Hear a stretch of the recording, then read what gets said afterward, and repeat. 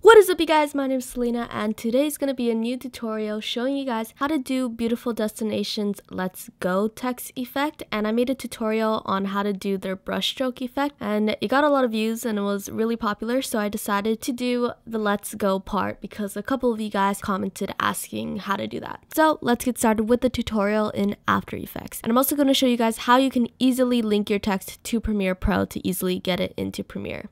So let's get started with the tutorial in After Effects. Okay, so this isn't the exact same font that Beautiful Destinations used, but it's really, really similar. So this font that I'm using is called the Keep Calm font. I'm just gonna create a new text and write down let's go. And then they like to spread out the text quite a bit so I'm just gonna slide that bar all the way out so it's kind of spread out like this. Okay so that's basically the whole text part. Now let's make the lines. We're to go to the pen tool and we're to create a line right next to the L. And so we're to press the pen tool once so we can create a point. And then we're going to hold on shift so that we can make a perfectly straight line and then point the pen tool a little bit further left. So now it makes a nice straight line and then we're going to go to our shape layer and press command D so we can duplicate it. And then we're going to press P for position and we're just going to move it to the right side of the let's go. And then I'm just going to adjust the position of let's go a little bit so it's perfectly centered. Okay, so now for the animation. So we're to go to our top shape layer and we're to press the drop down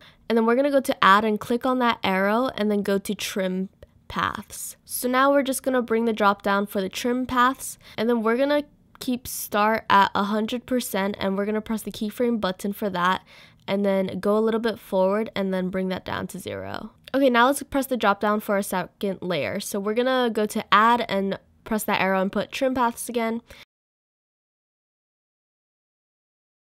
And then for this one, we're going to keep end at zero and start at zero and press the keyframe button for start and then go to exactly where the other keyframe ended and match it up. And then bring the start up to 100%. So now if you watch it back, it just has this line animation and you can spread out the keyframes so it goes a lot slower because that is way too fast for me right now. Okay, so now I'm to press T for opacity for the let's go and bring that down to zero. Then press the keyframe button a little bit after where our line animations start. And then we're to go a little bit forward and bring that up to 100. And now I'll just spread out all the keyframes so they go a lot slower and I'm actually going to bring my first two keyframes with the shape layer and bring it a little bit after the opacity fade starts.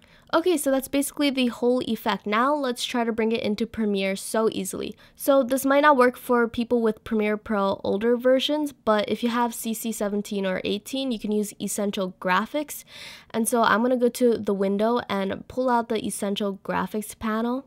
And then I'm going to change the master uh, composition to the composition one, which is the one I just made. And then I'm going to change the name to Let's Go Animation. And then what you're going to need to do is go down to the let's go and the text and then drag the source text up into that box. So what this is is that you can change whatever the text says in Premiere Pro after you export it. Okay, so now we can actually export it. So we're going to press export and then we're going to just save it first and then now we'll just export it. And if we hop onto Premiere Pro and then we go to window and open up the essential graphics, I have a lot of essential graphics already here, but you just look for the let's go animation and bring it into your timeline and there you have it. So yeah, I hope this helped you out. If it did, please give it a thumbs up and subscribe for more videos and I'll see you guys in my next video. Bye guys.